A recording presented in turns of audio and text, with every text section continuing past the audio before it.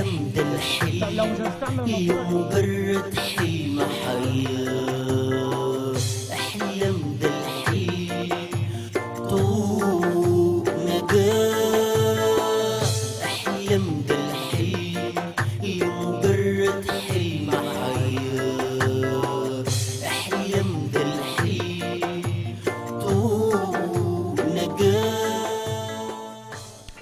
أعزائي المشاهدين أهلا بكم في حلقة جديدة من برنامج حلم حياة.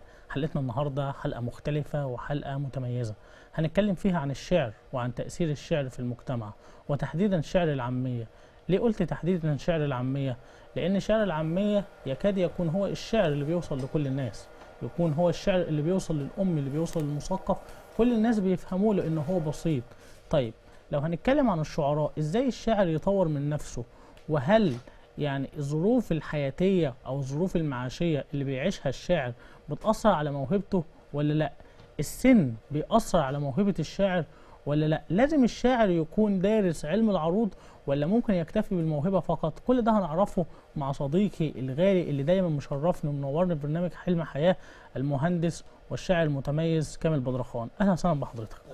أستاذ أحمد يا مرحبا شرفت ونورت برنامج حلم الله. يخليك أهلا بيك وبالسادة المشاهدين أهلا بسيادتك. كل عام وأنتم بخير. وحضرتك بألف خير. طبعا كالعادة عايزين نبدأ بقصيدة. نعم.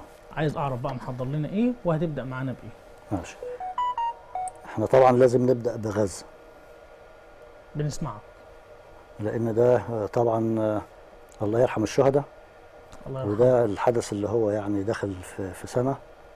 وحدث صعب جدا يعني. أحداث أليمة كلنا أي. بنمر بيها وكلنا بنعيشها. فأنا كتبت رسالة من جارك يا غزة. جاي لك يا غزة والسلاح في إيدي. ولو مش قادر هيجي لك حفيدي. لأن كبرت وطاعن في السن. وقع مني الضرس والسن. كان نفسي أعبر لك الحدود. وأعبر لك عن الحنية واسقيكي بإيديا بق ميه يلي الرصاص في قلبك غاص وبدمك العاصي عاص. كل متخاذل قاسي أحسبه من أهلي وناسي. بس يا خسارة كنت ناسي إنه عمل تطبيع وخام ونزع من قلبه الحنان حارب يا ولدي لوحدك. واوعى تسيب لحد حدك. وانت يا خالتي اصرخي وقولي الناس خانتني وبلاش شربة المية تشربيها مفيش وقت ليها. سيبيها بكرة الخاين اللي فرح بيها يغرق فيها وغزة ربي يسقيها ويعافيها. لما بصت ايد امي والخدود وغادرت الحدود من الطيارة بصيت على بلدي وحسيت إني اتخلعت من جذوري ومن جدودي أحلف بطفلة غزة اللي اتلفت بشاش. وبعدد الأقنعة اللي تلفت والأوشاش اللي قرب لسينا لا اتخلق ولا عاش. وبقول للمبعر اللي عابر المعبر بلاش اللي يجي حتتي على جتتي. وعلى مدفع الرشاش. بلدك ملهاش بدلك. اللي خرج من بلده اتقطعت بدله. هتجيب مين بدله؟ لبست بنطلوني الأخضر والكوتش. وودعوني ليلة السفر. ما بكيتش. احسب هجيب بانيو بدل الطشت لا جبت تلاجة أشرب. ساقعها وعطشت ولا حتى عفش للبيت وفرشت ولا ضحكت يوم في غربتي وفرفشت. رجعت ما لقيتش أمي في البيت وقطعت البنطلون الأخضر وبكيت وقلت أمشي حافي بلا كوتشي وبلدي ما فوتهاش تاني وأمشي. الله. قصيدة معبرة وقصيدة جميلة وقصيدة ب- بتعبر يعني عن الألم اللي إحنا كلنا عايشينه صحيح القصيدة دي كتبتها إمتى؟ دي كتبتها في البدايات يعني وخصوصا يعني بعد شهرين ثلاثة من الواقعة لما بقى آلاف ال- الشهداء وآلاف الجرحى والعالم صامت من حواليهم وطبعا كتر خير مصر ما أثرتش سياسيا و واجتماعيا وعلى أرض الواقع ومساعدات وكذا خدت بالك؟ وده لا يكفي. لازم الكل يتكاتف مش حتى العرب وبس والغرب كمان. لازم يقف عند حد عايز أعرف من حضرتك شرط الشاعر يتفاعل مع كل الأحداث اللي حواليه ولا مش شرط؟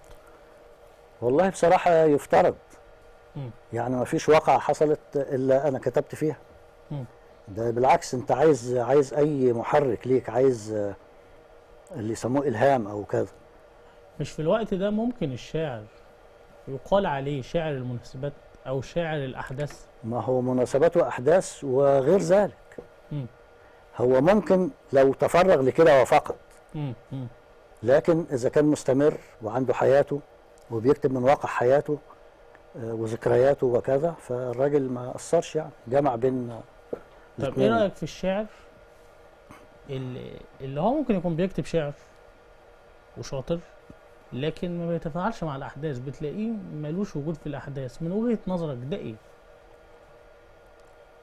مش عارف أسميها جبلة يعني ولا إيه يعني انت لا. ممكن تكون عايز تقول لا انت كشاعر لازم يبقى عندك شعور وإحساس معين فأنت لازم تتفاعل مع الأحداث بما إنك أنت شاعر برافو عليك لأن أنت عندك الإحساس صحيح. فلازم تكون صادق في أحاسيسك مش مظبوط. مجرد كلام آه. بتكتبه وخلاص ولذلك أنا أشك إن فعلا يكون فيه شاعر ولا يتفاعل مع الأحداث أعتقد آه، صعب. إلا إلا إذا كان يقصد مم.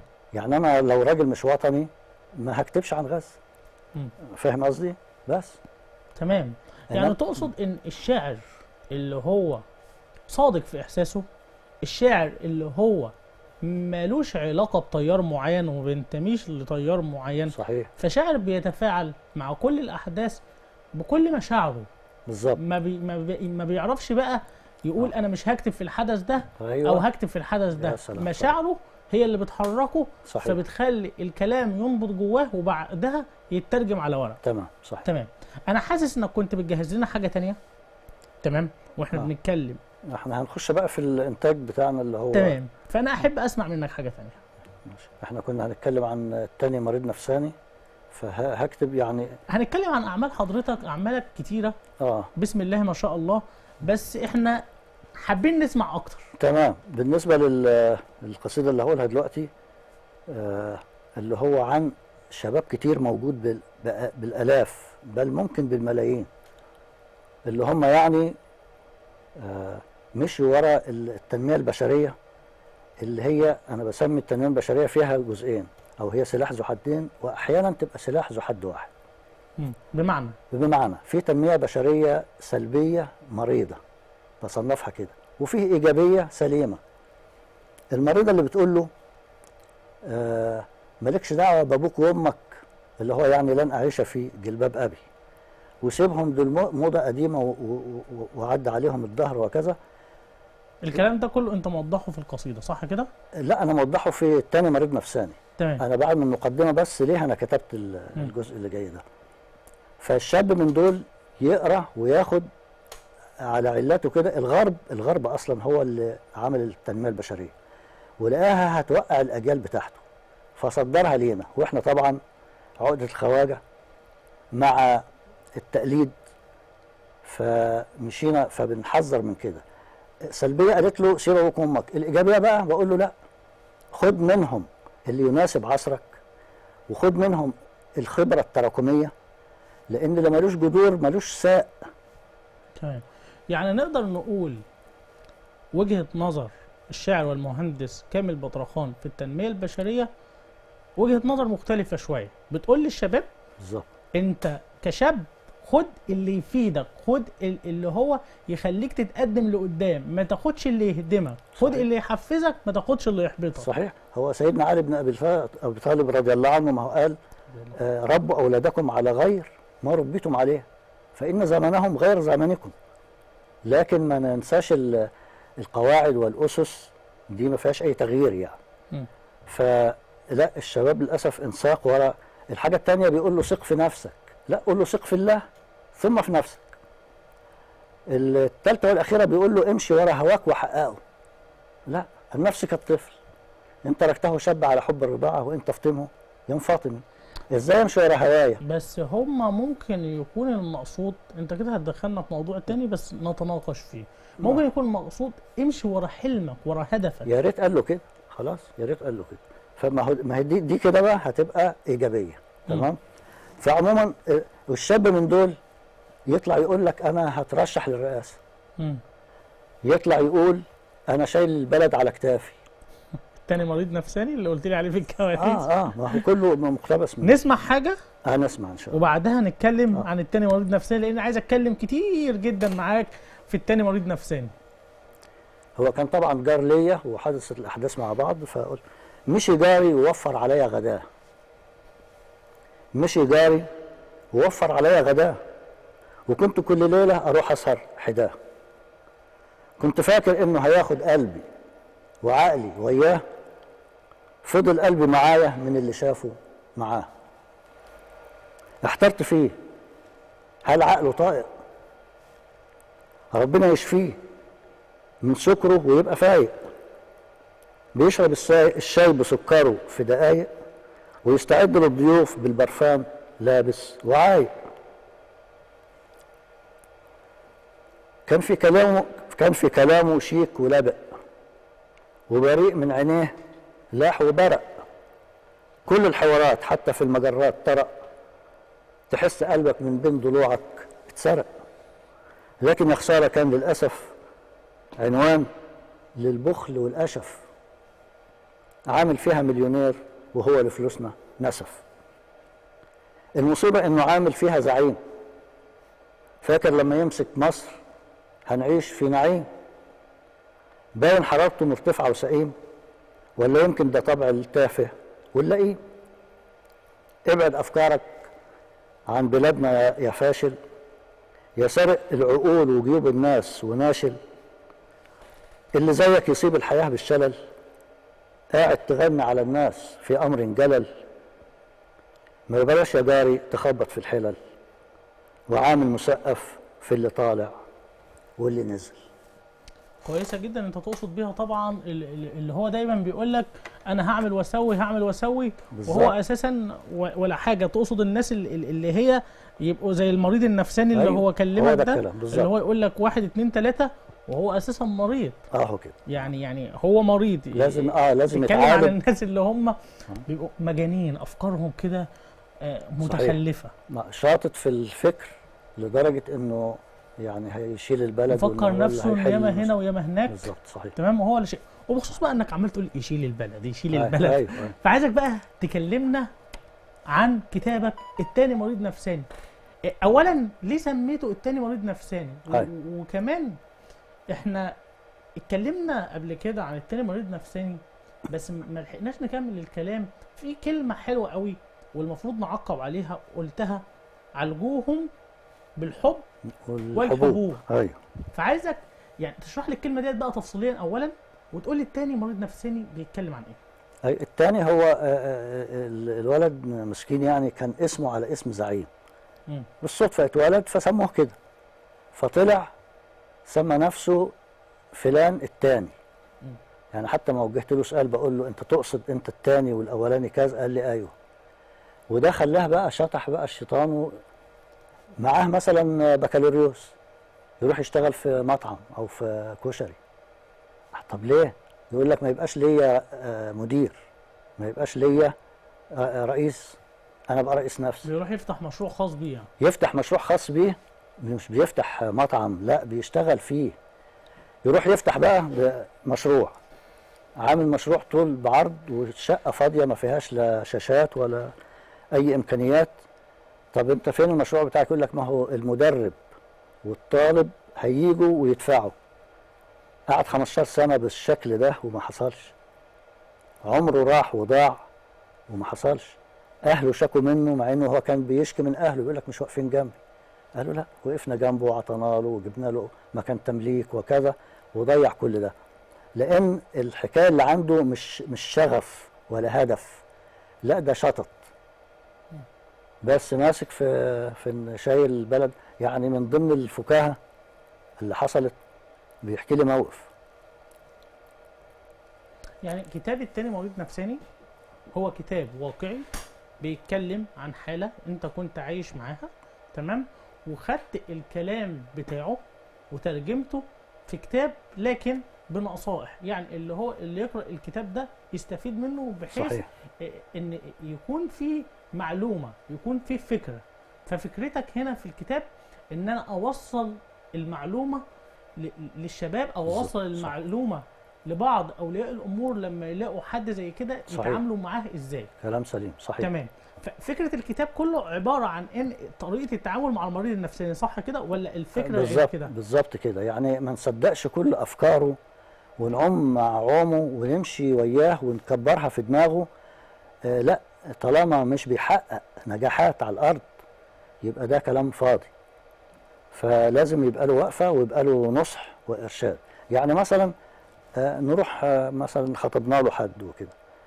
آه ف أنا عارف إن أنت ليك مواقف آه. يعني آسف لو بقطعك عارف إن ليك مواقف كتيرة جدا مع المريض النفساني لدرجة إنك اتأثرت بيه وقمت كاتب عنه الكتاب. فكان أيوة، احكي لنا بقى عن أهم المواقف اللي حصلت بين الكاتب والشاعر والمهندس كامل بدرخان وبين المريض النفساني. أيوة، هو طبعا أقواهم إن لما يعني قدرنا نجوزه اتجوز. وحصل انفصال في صباحية الدخلة. فأنا قعدت معاه فيما بعد يعني بكل بتناقش معاه إيه اللي حصل وكده. قال لي ابدا أنا ساعة يعني ال ال ال الحالة الحميمية حسيت ان شايل البلد على كتافي فما قدرتش أقوم بواجباتي الزوجية. أنا طبعا استغربت. فكان ردي عليه يعني ما هو ال- الكتاب ده صنف أدب ساخر. فأنا رديت عليه بسخريه قلت له أنا لو مكانك وبرضه شايل البلد هحط البلد على جنب كده ربع ساعة أو نص ساعة أخلص الموضوع الحميمي وبعدين أبقى أشيل البلد مرة تانية. فدي كانت من وحتى أنا موثقها هنا بثلاث أربع أبيات يعني. أما بقول ما تفعله يا جاري عهر. هذه عروس ولها مهر. ليس مهرها فلوس ولكن تهدئة النفوس وإقامة طقوس.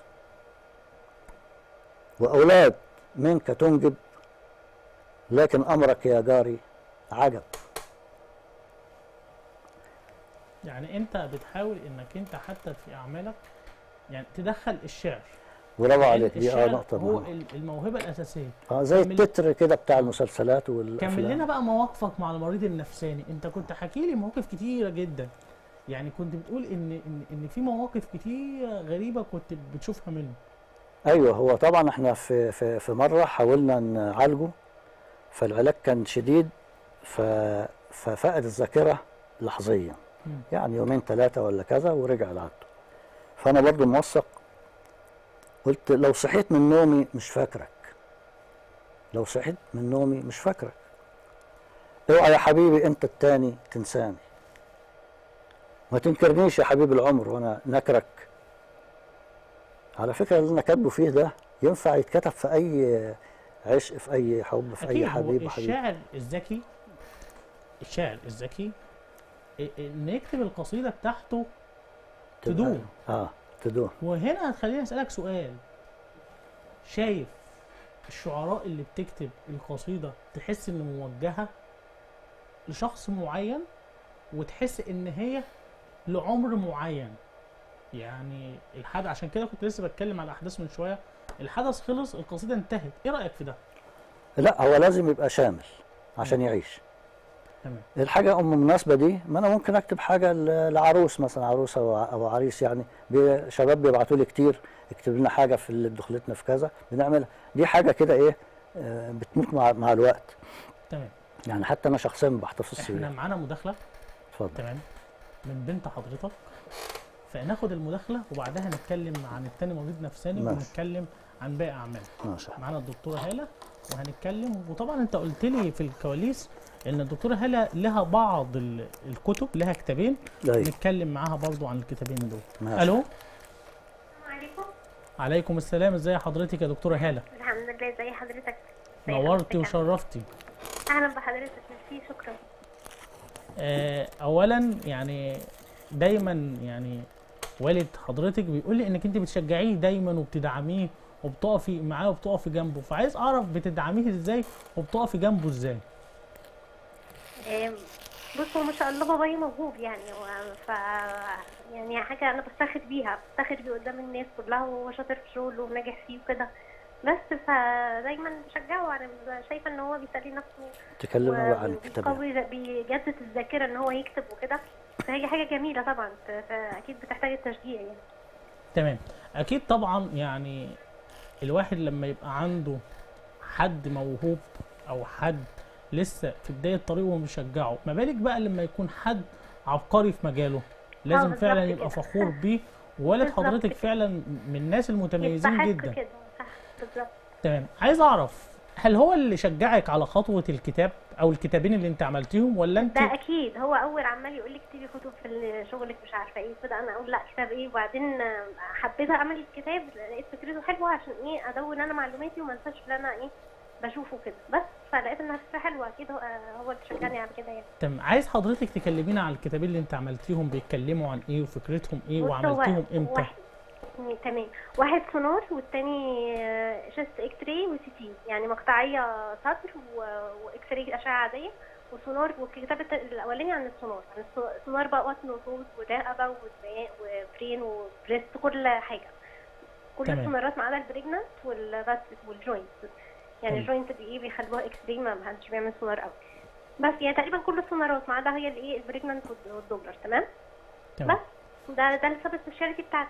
شايفة آه. الكتب الطبية أو الكتب العلمية عليها إقبال دلوقتي ولا لأ أكيد عليها إقبال طبعا ما ال interested أكيد هيجيب يعني اللي عنده بيحب كده يقرأ أكيد هيجيب الكتاب مش هيبطل يعني ما أكيد طبعا يعني أكيد، عليها. إقبال ولكن ناس معينين اللي هم الناس اللي هم interested آه في. واحد ما بيحبش القراية مش مش عايز. يطلع مكتفي كده فتبقى حسب الشخص يعني تمام شاعرنا المتميز لو هتقول حاجة بس لهلا هي فكرة الكتاب بقى إنه إيه آه ليه فكرة خاصة بيه إن هو سمري آه ملخص عن اللي هو إيه آه، إزاي يعني طريقة تجميعها كده فيها السونارات ف آه، الفكرة بتاعته تخلي الواحد عايز يجيبه حتى لو هو عنده معلومات لأن هو. الكتاب ده كام. صفحة 130 صفحة السونار والثاني 140 اشتغلت عليه قد إيه ده من قبل رمضان. يعني حوالي ثلاث شهور بالظبط. هما الاثنين خدوا مني تقريبا أو أقل من ثلاث شهور. بس ثلاث يعني شهور. وقت كافي إن أنا أطلع كتاب؟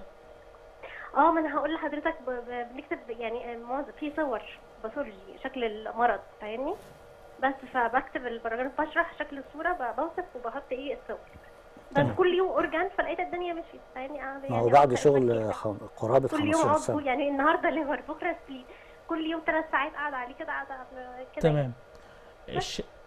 ولد حضرتك الشاعر المهندس كامل بدرخان بيقول لي دلوقتي إن مش موضوع ثلاث شهور ده ثلاث شهور الإعداد للكتاب اللي هو آه ما الطباعة بتاعته. في دماغي. آه إنما بيقول لي 15 سنة دلوقتي لو أنا سمعت صح أيوة، يعني. بيقول لي 15 سنة أنت شغالة عليه. آه بالظبط كده. اللي هو أنا مجمعاه في دماغي ما ما نقولش بقى ثلاث شهور. أصلا. ثلاث شهور وقت كافي دي وقت غير كافي. خالص. الحمد. لله يعني خدت كل شغل كل ازيك يا هالة؟ الدنيا مشيت. ازيك يا بابا؟ عامل إيه؟ عاملة إيه يا عسل؟ تمام؟ البرنامج طيب جدعاني بقى في الكتاب الثالث إن شاء الله. لا مفيش كده. خلاص كده خلصت. كده عشان توصلي ل بتاعتي يوم 17 بس. كتاب زي باباكي يعني. ناوي اعمل حاجة تاني. طيب. كده حلوة قوي الحمد لله. ماشي يا حبيبي. عايزة حاجة؟ شكرا يا بابا. شكرا. لتشجيعك والفكرة. أنت تسلم كل يا سنة وأنت طيبة. وإن شاء الله دايما ناجحة وإن شاء الله تحققي كل اللي تتمنيه. وبجد حاجة جميلة. أنا عارف إن سنك صغير.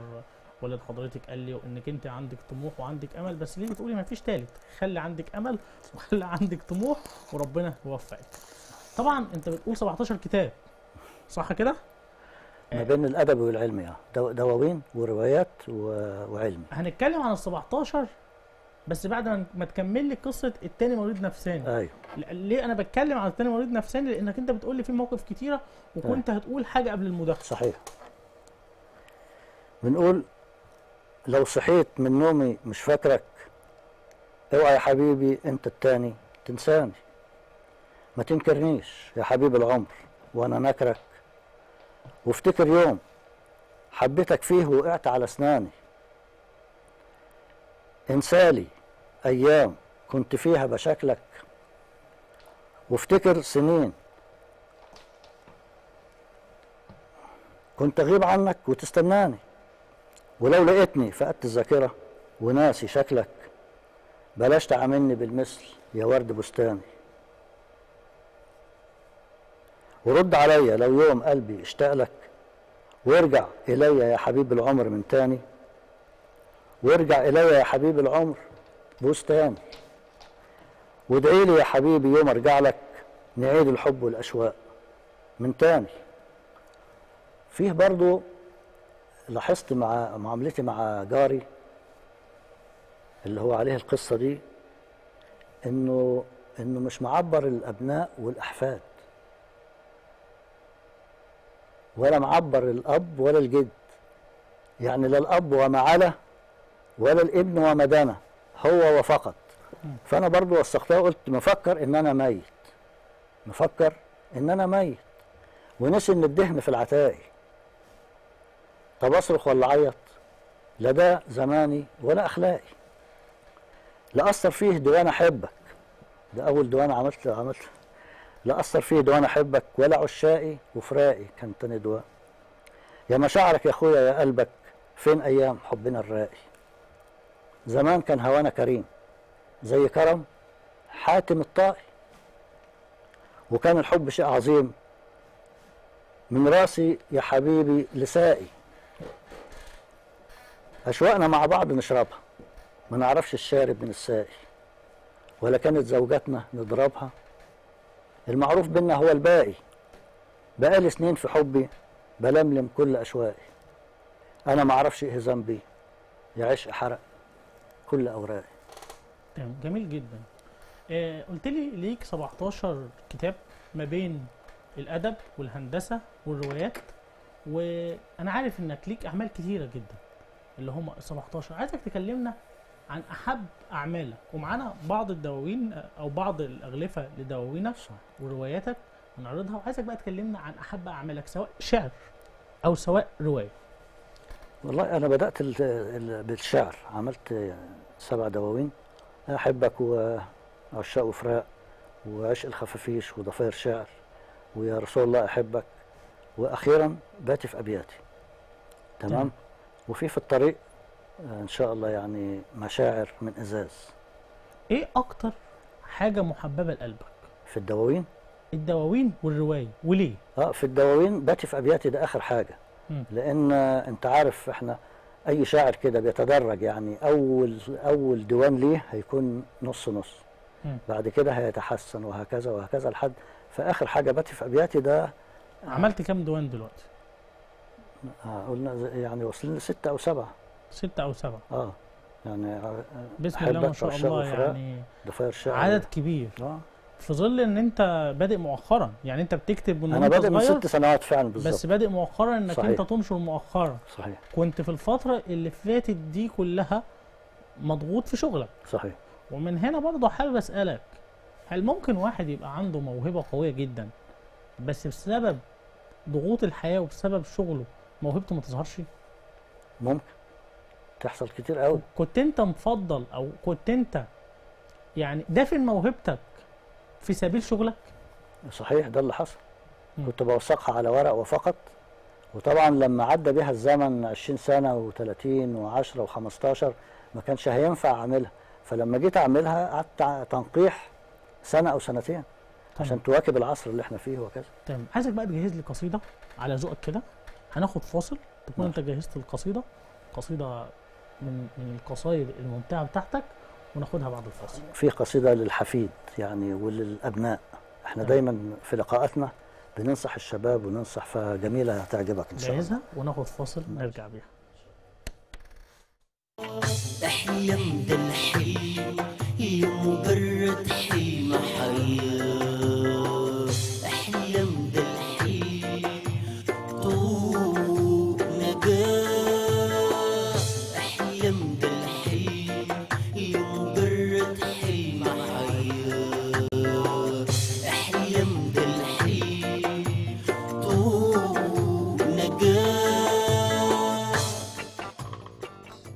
الشاعر المتميز المهندس كامل بدرخان أهلا بيك مرة تانية. أهلا بك وعايز بقى أشوف القصيدة اللي أنت حضرتها لي وحابب أسمع. ماشي دي بنوجه كلامنا لأبنائنا وأحفادنا. تمام. إحنا إحنا الكبار يعني. بنقول لما تلاقيني على الحيطان بتسند خليك بدل الحيطة وعليك أسند. وخبط عليها البيبان وزق وافتح. خبط عليها البيبان وزقها وافتح. تلاقيني مستنيك بزيطة وافرح. بلاش تجيب معاك وتتلهي بالجرنان واقعد اتكلم معايا واديني من وقتك شوية كمان. وصدقني مش هاخد من وقتك كتير. وانت اللي ياما أخدت من وقتك كتير. هو بس علشان أنا مش بقدر أشوف خليني أشوفك بقلبي وابعد عني الخوف. ما تخافش ربنا معايا وعالم باللي بيا ورغم الصعوبة وأنا بلبس الجلابية. وده يا ح... أنا عارف فين الكم وفين الجيب. وده يا حبيبي مش شيء عجيب. الله اللي جعل مخرج من كل كرب وهم قادر يهديني لمكان الجيب والكم. حتى وأنا بسلق البيض لعشاية. بياخد وقت قد وقت وضوئي وصلاتي عشاية. وبرضه بقدر أعرف الليل من النهار. بصوت العصافير بتهدل على الأشجار. وكمان الأوض بروح لها وأحسس. له عيب ولا حرام ولا تجسس. أنا في بيت كبير لكني وحيد. حر طليق بس أعمى ومتأيد بإيد. ربنا خد عيوني وسايب لي إيديا أحسس بيها فما تخافش عليا. أنا عايزك تجيني يا ضي عيني مش علشان تشوفني وأنا مش بشوف ولا بقى ليا شغف للحياة ولا بقيت ملهوف. أنا خلاص بعرف أعيش من غير عينين وعارف كل حاجة مكانها فين. وأنت جاي لا تجيب أكل ولا بسبوسة. ما تتعبش نفسك ووفر الأكل وفلوسه وبلاش تجيب كفتة وكباب. ماليش دروس ليه وأنياب. أنت كل واملى بطونك. وبس تعالى لي بطولك. هات لي ورقة ببلاش من شجرة اللبلاب. لو ما تجيني أشوفك بقلبي أشعر باكتئاب. بلاش تزعل من كلامي والشجن. خليني أعبر عن كلام جوايا اتسجن. لو ما قلته يمكن أموت أو اتجن يمكن قلوب العصير من الأحفاد تحن. أنا معتمد على الله مش معتمد عليك. أنا معتمد على الله مش معتمد عليك. ربنا اللي خد عينيا يا رب يخلي لك عينيك. أنا مش عايزك تجيني تطمن عليا لا يا عينيا. أنا عايزك تجيني أطمن عليك. أنا مش عايزك تجيلي تطمن عليا عايزك لا يا عينيا. أنا أنا عايزك تيجي- تجيلي أطمن, عليك. إيه إيه يعني الوفاء في ال في ال في البيت ده؟ يعني كمية وفاء كبيرة جدا. يعني بيت صادق بيت بيدل على المشاعر والحب. يعني حاجة جميلة. دي كتبتها ليه؟ هو آه، آه، طبعا شعري متنوع ما بين الاجتماعي وال والوطني وال اللي أقصده كان ليها موقف معين ولا آه، معايشة بالإحساس لها؟ لأن ي- كل الأبيات البيوت البيوت النهاردة البيوت بتعاني آه، من الأولاد والأحفاد مم. ف... فالبيوت دي عملناها في. مم.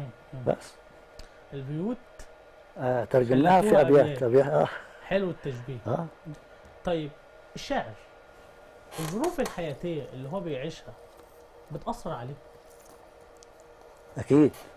ده طبعا ده بتخلق له بيئة تمام. بتأثر على موهبته بالسلب. يعني لو في شاعر دلوقتي عايش ظروف حياتية قاسية بتأثر عليه من وجهة نظرك بالسلب ولا الإيجاب؟ وشاعر تاني في العكس عايش ظروف حياتية حلوة جدا سلب أم إيجاب؟ هما الاثنين ليهم الإيجابية بتاعتهم. واحد إيجابيته شجن والتاني إيجابيته تفاؤل وكذا وأمل. ولكن الشاعر الواعي ما يسجنش نفسه في شجنه. يجيب أفراح يحفر من تحت الأرض ويجيب أفراح. الدنيا كلها مش شجن يعني. يعني أنا لما عملت دموع على أرض الخليج مش معناته بعيط آه، أو البكا ده حزن. فيه دموع فرح. وهكذا. برضو الشاعر اللي هو متفائل والدنيا ماشية معاه حلوة برضو لازم يحس بشوية شجن. يعني آه، ده ده اللي أقصد آه، ليه؟ طالما عنده الم- الموهبة ودي نقطة مهمة. هل في شاعر بدون موهبة؟ أنا بجزم لك دلوقتي أقول لك لا. طب ومن هنا حابب أعرف منك الشعر إيه هي مواصفاته؟ أهم مواصفات الشعر اللي يقدر يتقال عليه شاعر؟ أهم مواصفاته طبعا موهبة. ولو درس يكون أحسن. التفعيله وال- والقافية والوزن و يعني من وجهة نظرك الشاعر ممكن يعتمد على موهبته فقط؟ ولكن أنت بتقول له اثقلها بالدراسة؟ آه هو يقدر يعتمد على الموهبة لكن لو ثقل بالدراسة هيطلع حاجة عظيمة يعني. تمام. معانا مداخلة؟ ماشي. ناخدها وبعدين نكمل الحديث. ماشي. ألو؟ ألو؟ ازي حضرتك يا فندم؟ أهلا وسهلا بحضرتك. شرفت ونورت برنامج حلم حياة الله يبارك في حضرتك أستاذ أحمد الراجل الجميل ربنا يحفظك يا أستاذ روبي آه، نورت حضرتك راجل. جميل فعلا يعني وتهانينا للبرنامج الجميل اللي أنت قائم عليه فعلا وهو حلم حياة وده من الشيء الجيد اللي بيفتش في رجوع جمهورية مصر على النوابغ وأهل القرى اللي محتاجين التفتيش والتنخيط عليهم. كلام حضرتك ده على رأسي يا فندم وبشكرك جدا بحضرتك عليه. يا أستاذ أحمد. أهلا وسهلا. الشاعر كامل بدرخان ابن عم حضرتك صح كده؟ وابن عمي الكبير وسني متقارب ليه. تمام. عايز أعرف بقى يعني بتقعدوا قعدات شعرية مع بعض؟ يعني بتقعد تقول له سمعني أشعار آه، بتقول له مثلا اكتب لي حاجة معينة ولا لأ؟ آه.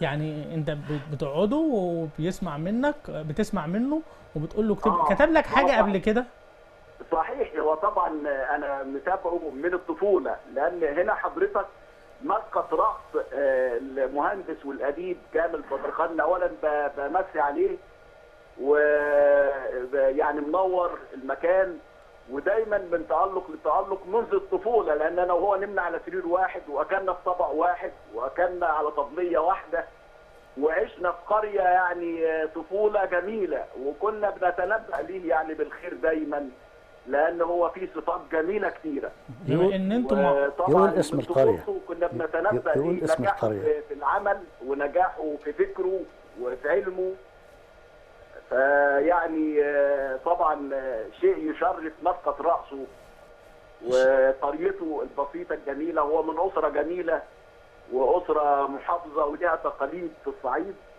الشاعر آه. كامل بدرخان يعني فخور بقريته فبيقول ما تقول اسمها. لا دي حقيقة دي حقيقة صحيح. وهي على فكرة بداية موهبته بدأت من هنا. قول له القرية. اسمها إيه؟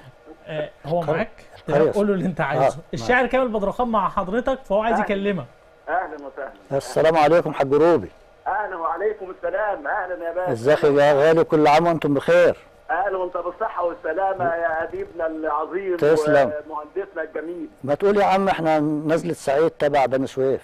ما طبعا ما أنا بقول له مسقط رأسه قريه نزل السعيد اللي تربت فيها الموهبة وبدأت فيها الموهبة. محافظة بني سويف جنوب آه، شمال الصعيد. آه، طبعا آه، يعني من طفولته. وإحنا بناكل على طبليه واحدة في طبق واحد. طب. وحسينا بالموهبة دي من الطفولة يعني. طيب بخصوص إن حضرتك حسيت بالموهبة ديت من الطفولة هسألك سؤال يعني ممكن بيعاني منه أغلب الموهوبين في كل المجالات. ما هو حضرتك اتفضلت أنا اسف بقطع حديثك اتفضلت حضرتك بكلمة جميلة جدا دلوقتي بجمله هايلة إن في كثير من المواهب في القرى والنجوع عندنا بتموت مع لقمة العيش وانشغالها بلقمة العيش بالرغم إن هي مواهب. ده حقيقي. لو تم التنقيب عليها لبقت على أعلى مستوى عالمي. وده ده حقيقي. حضرتك يعني بتلاقي أغلب المواهب زي الدكتور صلاح حسين مثلا من عندنا من منيا كان راجل عالمي ومن قرية بسيطة. وده مثل يعني ده مثل. الس- السؤال هنا. أحمد شوقي وجميع الشعراء أكيد العمالقة. العظماء. آه يعني فعلا هم من بس محتاجين برامج زي حضرتك. ربنا يحفظك. الجميلة ديت وال- والتنقيب الهايل ده محتاج يعني آه محتاج من الدولة دعم. اتفضل. أكيد الدولة بتعمل اللي عليها والدولة صحيح. بخصوص المواهب يعني في ندوات وفي أصول ثقافة وفي كل حاجة الدولة بتحاول تعملها للمواهب. السؤال هنا بقى اتفضل. الشاعر كامل بدرخان هو أنتوا قلتوا اكتشفتوا الموهبة من البداية وطبعا انت بما انك انت المقرب ليه فعايز أعرف ما كنتش خايف أو ما كنتوش خايفين كعائلة أو كأسرة ان ان إن هو يحيد عن الهندسة ويتجه لموهبته فقط لأن في أولياء أمور أو في قرايب بيخلوا الواحد لأ انت سيبك من المجال اللي انت فيه ده خالص الموهبة ده وخليك في شغلك بس هل وجهتوا ليه ده في البداية ولا سبتوه بحريته وكنتوا بتدعموه في موهبته؟ حضرتك آه، آه، عمي رحمة الله عليه كان موظف. آه، وكان مدير عام في السكة الحديد سكة حديد مصر. وبدأ بداية عصامية من البداية ال- ال- يعني ال- ال- الراجل عصامي وحب يحمل ولاد عمي كلهم وفي أماكن مرموقة كلهم أساتذة ودكاترة عظماء. آه، من بداية الطفولة على إنهم يعتمدوا على أنفسهم. بل حضرتك؟ تمام. فكان الهدف الأول الموهبة أنا آسف قد لا يعني لا ولا بتأكلش تأتي عيش. من جوع من 40 سنة أو 50 سنة. فاهتم بشغلك وموهبتك بعدين. بالضبط. يعني الأصل إن أنا أشوف ال- ال- ال- اللي قوام الحياة فين.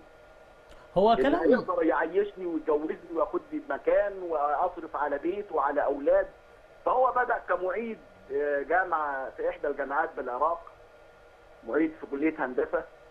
وبعد بدأ الأول في الحديد والصلب وبعدين تدرج وسافر. و... و... و... وفحت في الصخر زي ما بيقولوا. ونجح في عمله وبقت المملكة العربية السعودية تستدعيه في الطيران بنجاح مشاريع معينة ما شاء الله. إحنا هنتكلم معاه في مشاريعه الهندسية آه وحقيقي انت شرفت ونورت هايل. البرنامج وذكرت يسقط بقى يلتفت للجزء الثاني مع الوقت إيه لما بدأ يتفرغ يعني جزئيا انهي معاه حضرتك يعني ذكرت كلام كتير جدا فندم. والشعر معاك ماشي يا حاج روبي كتر خيرك على المداخلة الجميلة دي وشعورك النبيل. وألف شكر ألف شكر يا عمدة نزلة سعيد. بشكرك جدا أستاذ روبي طبعا عشان ال- الوقت شبه انتهى. انتهى؟ فهتقول لنا قصيدة هتقول لنا إيه؟ هو شبه لسه ما انتهاش يعني ما تقلقش. طيب مش هتقول أنت حاجة ب... شرف ليا شرف ليا. طيب. يعني شوف لنا باتي في أبياتي وشوف لنا اللي على الغلاف. تمام. هقول لحضرتك حاجة حطه دلوقتي حط الكتاب. هخلي حد بس ينوله لي لو أمكن يعني. آه أجيلك بيها بس؟ قول لنا قصيدة. ماشي حاضر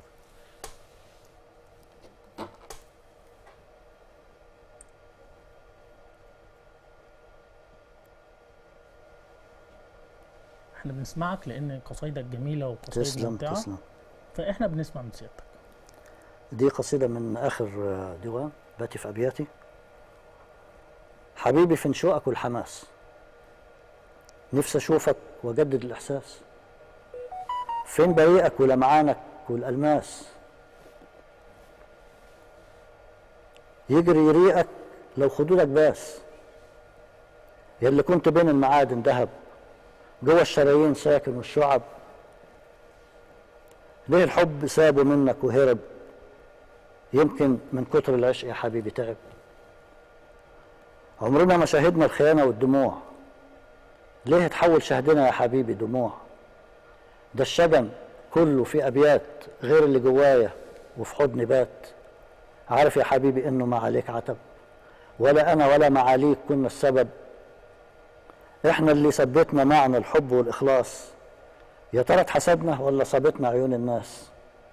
خليك بشوقك أصل وضعك خاص. يلي حبك داس جوه قلبي وغاص. قلبي من كتر حبك جاب المتر وقاس. لقاك بتلبس في القلوب يا قلبي أعلى مقاس. تداري خوفك وكسوفك تحت بوسة راس. كفاية عندي لما وصل لحد عندك كلاس. الحب سوقك فيه شاريني ولا بعت خلاص. معقول بقيت يا حبيبي وفات وما بقى منك إلا شوية ذكريات. شاعر وعندي حل أحلى من الذكريات. تعالى يا حبيبي في أبياتي وبات. تعالى في أبياتي تعالى يا حبيبي في أبياتي وبات. ده من آخر حاجة ليك؟ آه. تمام. آه، أنت حضرتك عايز عايزني عايزك بصوتك. شرف ليا. عشان. مسافة بس بعيدة أخلي حد يناولني الديوان. حد هيجي ياخده من حضرتك دلوقتي ينوله لي. طيب ماشي. بس إحنا هنتكلم لحد ما حد يجي ياخده آه. ويناولني الديوان. آه الظروف إحنا اتكلمنا عليها الظروف الحياتية بتأثر على الشعر. نعم. عايز أعرف منك بقى بما إنك أنت بتكتب دواوين شعر تمام؟ اتحولت من كاتب دواوين شعر لكاتب رواية إزاي؟ ده بقى كويس اللي سألتني السؤال ده جميل. تمام. لأن دي بصمة تعتبر جميلة ل... لدار سكرايب. تمام. دار سكرايب هي اللي نبهتني يعني الأستاذ يوسف حسين بقدم له الشكر من هنا كتير جدا الأستاذ يوسف حسين المدير آه، التنفيذي المدير الفني المدير الإداري مدير عام يعني ال- دار سكرايب وبن تمام كمل. يعني المدير الدار آه يوسف. والاستاذه برضه الأستاذة مها إسماعيل بنوجه لها ال- آه، التحية والشكر. دول عملوا مجهود كبير. فالأستاذ يوسف هو اللي نبهني إن أعمل كتب هندسية. وهو اللي نبهني إني آه، أعمل الرواية. خلاص؟ تمام. تمام. كمل. يعني انت اديتني كتاب غلط. عايز أقرأ حاجة من أشعارك؟ اديتني. كتاب غلط كده. تمام. هو طبعا علشان الوقت آه، يعتبر إحنا هنختم بيها. تمام. هاخد ال- الديوان. وهنختم بيها. هي هي قصيره صح كده؟ آه. حاضر. تمام. طبعا طبعا إحنا ما نوهناش للكتب الهندسية. هو للأسف الوقت شبه انتهى. ما خلاص إحنا مش هناخد في ال- ال- المقطع الصغير من الديوان. تمام؟ الكتب الهندسية يعني آخر كتابين اللي هو تنمية مهارات مهندس الاختبارات والتاني دليل الكهرباء الشامل للمهندس كامل. تمام. دول عشان بس إيه المهندسين اللي سامعيننا يستفيدوا منهم يعني إن شاء. الله. ال- ال- الكتب الهندسية آه انت طبعا ليك أعمال هندسية كتير. صح كده؟ صحيح. آه خمس أعمال نعم. خمس أعمال. آخر حاجة عملتها هندسية بقى من قد إيه؟ من آه، قرابة سبع ثمان شهور. تمام. اللي من هو حوالي سبع أو ثمان شهور. دليل الكتاب الكهرباء الشامل للمهندس كامل. تمام. طبعا علشان للأسف الوقت انتهى. آه. لو هتقول آه، نصيحة أو رسالة أخيرة هو طبعا بيقولوا الوقت انتهى فمش هنلحق نقول حاجة. طيب. آه وانت اديتني كتاب غلط. المرة الجاية نقول. لو هتقول رسالة أو نصيحة أخيرة هتقول إيه؟ آه، أنا نصيحتي دايما للشباب لأن قلقان عليه قوي. يعني آه، خليك في طوع أهلك الوالد والوالدة والجيران وكذا. خد. منهم اللي يواكب عصرك وسيب اللي ما يواكبش. خد الخبرة التراكمية واللي ملوش جدر زي ما قلنا ملوش ساق ف وربنا يعني يحفظهم. و... وكل سنة هم طيبين وكل سنة والناس طيبين. وبلاش التباعد الاجتماعي. يقول لك تواصل اجتماعي و... وفيسبوك و... وشات و... ويبعتوا لبعض رسائل في العيد. ارفع السماعة ده أقل حاجة واتكلم.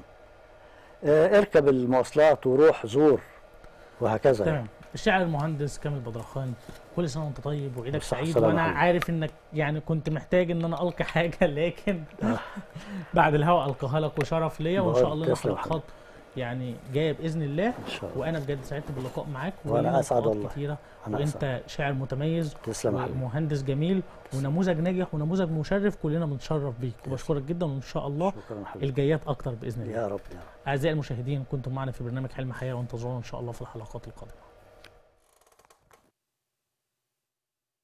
يمدى الحلم يا مجرد حلم